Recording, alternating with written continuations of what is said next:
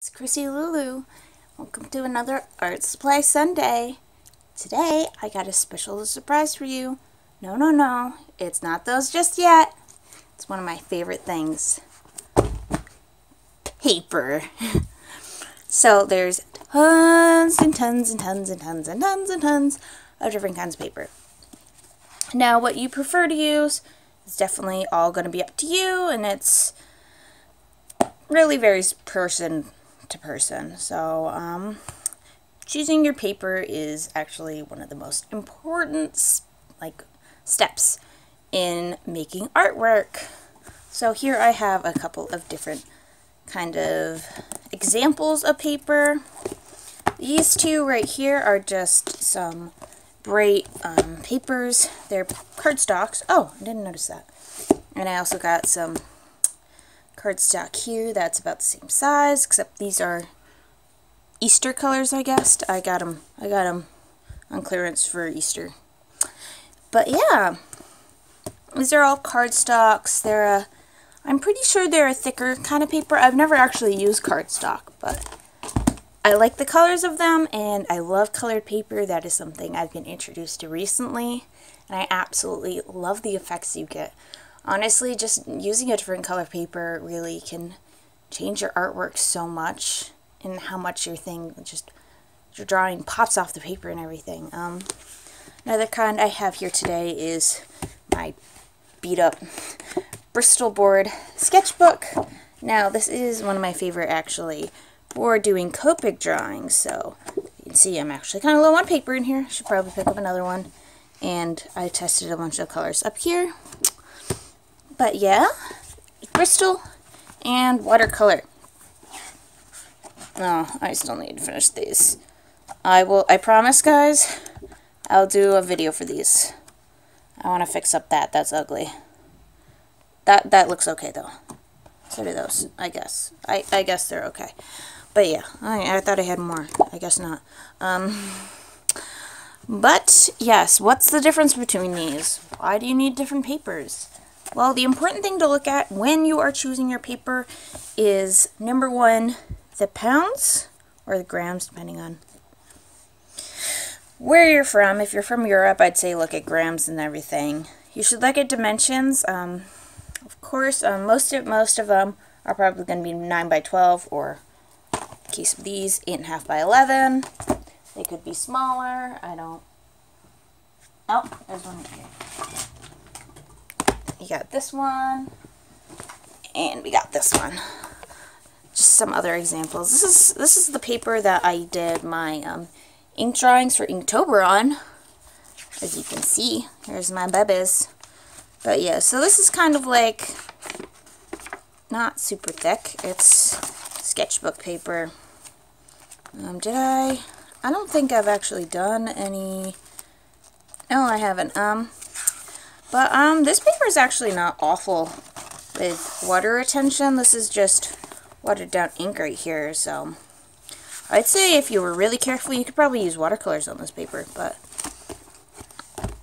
yep. Um, here's the stuff. This is sketchbook paper. It's cheap. It's thin. It lets stuff bleed through it. I'm pretty sure. I, I could do a great example of this. I've been shoving random things in here if you can't already tell. Oh, careful, careful. I draw, I draw, I draw um, life poses in here sometimes. So I, I'm so sorry if you see any boobies. Um, it'll happen. Yeah, yeah, it does not take markers. You can see it right here. Got all these gross markers. And this is the thing I was reading. Actually, there's a little tidbit in that one video of Estelle's background. Yeah, fun fact. Yeah. So these, this, these, this is just cheap sketchbook paper. I don't know how this one holds up with markers. Actually, I've never tried it. But yeah, um, I don't know what. So in the corner of sketchbooks, you often get this little number here that says blah blah blah grams and I believe that that is how much a hundred sheets of that paper weighs. So it can just tell you how thick a piece of paper is, pretty much. Yeah. Anywho, let's get right into the drawing. So for today, I ended up using my colored papers because I really like them. I kept them wrapped just just for when I did this video, and I wanted to use the papers, so I had to do this video and unwrap them and use them. Um, I really did have a lot of fun with the paper, but yeah, I'll talk about it more at the end. I'm speeding through me opening up the paper, so bye, talk to you in a bit.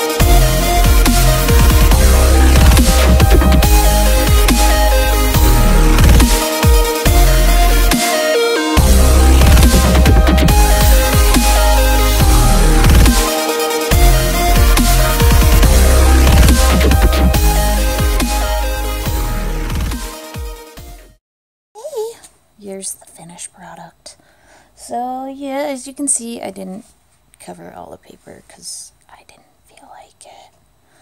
But yeah, I hope you guys enjoy the results. I actually really enjoyed working on this paper and I definitely do want to do more, especially since I had like three sheaths of paper and I have a lot of it. I should probably use it. Right? I love paper. It's one of my favorite things to buy. I think it's probably a lot of our favorite things to buy, seeing as how seeing seeing how many people just stock up on sketchbooks and everything. But yeah, um, I would love in the future if I can go more into depth with different kinds of paper, like more in depth with watercolor paper in general, and talk about the differences between them and stuff like that. And definitely, I would love to do one just on Bristol board because you've got I mean, this this paper is amazing for showing it. You've got the smooth Bristol, and you also have the more rough Bristol. I personally prefer the smooth Bristols, but that's just my preference. But um, as you can see, I actually used my Prismacolors on this one, which was alright. I'm, I'm kind of second guessing my love for them. Um, I can do a video on that later, but um, yeah, for now, we will save that for another day. But yeah, the one thing I do really like is how it does cover the paper. Um, I really do like how the characters kind of stand out from the paper just because I left most of it that green and they are the colored part. And it's more interesting than just having white, I think. Instead of just having white paper as your empty space, having a color there it's a lot more interesting, I think. And you can really change moods just by the color in the background, and it can save you work if you do a lot of building up of color. I love colored paper. Um, um, I definitely actually want to show you at some point my mid-tone papers. I have some grays and I have some tans that work nice because you can just with those, you can just leave it, leave like skin, you can just leave that the color of the paper. It saves you lots of time when you're coloring. So that's also a little cheat if you ever don't want to waste all your pencils or you're like, dang, like I know my peach in my A.C. Moore Premier, I, I don't even know, the, the color pencils I got from A.C. Moore my peach is like that big. It's not as I actually killed one of my pencils the other day doing a project for school. but yeah, um it can save your pencils, your markers and everything because everyone has skin and if you like certain skin tones, you use them a lot. But yeah, I'm blabbing at this point. Um, I hope you enjoyed this video. I hope you enjoyed seeing me create something with paper. I don't see a lot of people here on YouTube using colored paper, and I think it's such a shame. I really would love if more people out there would take advantage of these papers and use them. Oh, and yeah, this is a picture of Miss June and Cicero, her boyfriend, but not boyfriend, her male friend. But yeah, um, yeah, I really would. wow, that was awkward. I'm sorry.